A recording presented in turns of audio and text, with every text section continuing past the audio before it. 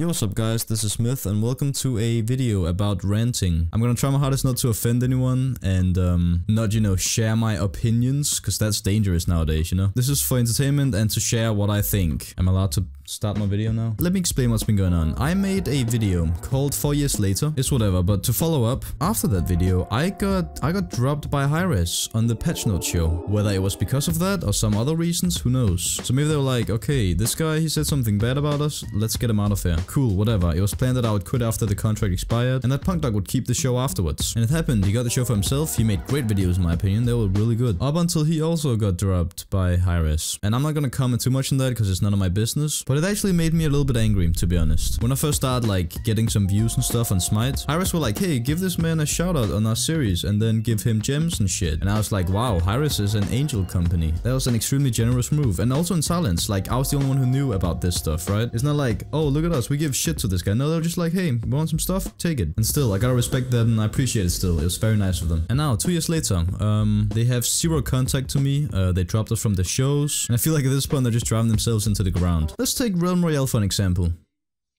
What the fuck happened here? Game was released, got a lot of viewers and shit, Ninja plays it, we get some tournaments and stuff. They make extremely terrible decisions and boom, the game's dead again. And I actually feel bad because I, I love some of the people in Hi-Rez, like they're so nice. But then there's um this guy. this guy is the CEO of Hi-Rez. It's, it's actually so funny. So this one guy streaming and um... The minute I get partnership, I'm not playing this game anymore, dude. He says he's fucking tired of the game, Realm Royale. It's so depressingly awful. And then as any CEO of a giant company that needs to advertise for the game. He of course goes to the chat and says, play the mode like you're supposed to with a team and stop crying. it's just kind of fucked up. Well, I can't say it's not funny. It was pretty funny. Again, I'm just showing what's been going on. Anyways, back to Smite. I honestly don't know at this point what's going on. If you've played recently, you've probably noticed that there's been about 5,000 bugs every patch, which of course requires no hotfix at all, unless we cry about it all over Twitter. And so we wait two weeks for a patch, and then um, I'm happy my loading frame is fixed, but now I can't fucking play the game. And so of course I need to wait two weeks again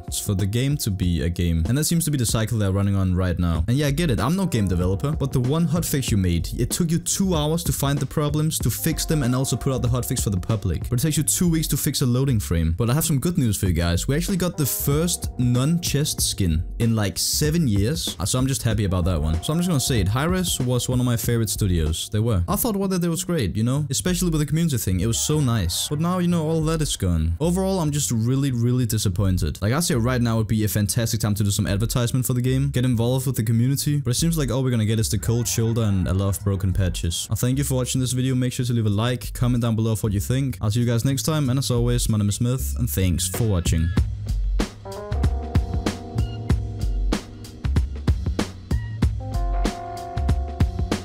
Come on.